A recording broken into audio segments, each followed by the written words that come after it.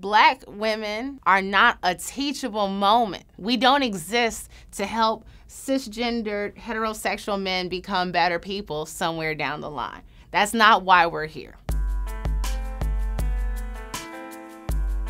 I am originally from Chicago, South Side, born and raised. I've been a professional writer for over 10 years at this point, and I have done my best to use whatever platform that I have to call attention to the things that R. Kelly has done and the things that R. Kelly has been accused of doing. It matters a lot to me because black women and girls matter. And in the era of Me Too and Black Lives Matter, it is incredibly frustrating to see how hard we still have to fight to get people, including people who look like us, including some black women themselves, to believe and affirm and understand that. But there's just something that strikes in the hearts of so many people when it comes to holding powerful men accountable. And I have a particular responsibility as a black woman, as a mother to a black girl, to never let people forget that we deserve protection that we are human beings. There's no R&B song, there's no film or piece of art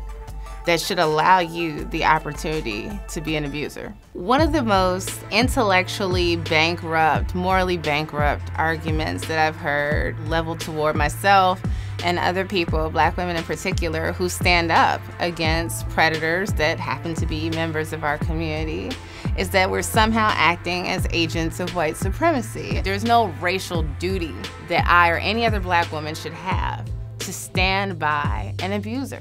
There are people who seem to think I delight in having to throw stones at beloved black men. It is one of the worst feelings imaginable. Not just because people are gonna say mean things to you and get mad at you, but because I live in a world that has set my people up to fail, to self annihilate. My love, my empathy, my support and care for black men cannot take precedence over the urgency of ending patriarchal violence wherever it may lay.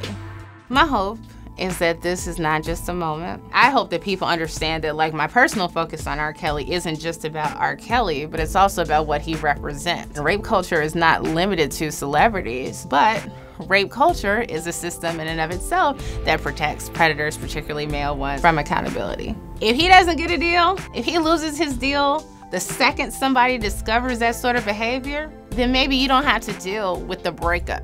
So for me, Justice is the withdrawal of social status. It is the withdrawal of public support and affirmation. It is to see them go down in the annals of history as a both and.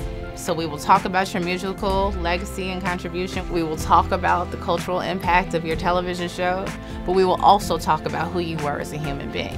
And we will hopefully prevent the next you from existing. What's up, folks? Thanks for watching The Root. We hope you enjoyed this video and will continue to bring you more that's of interest to you.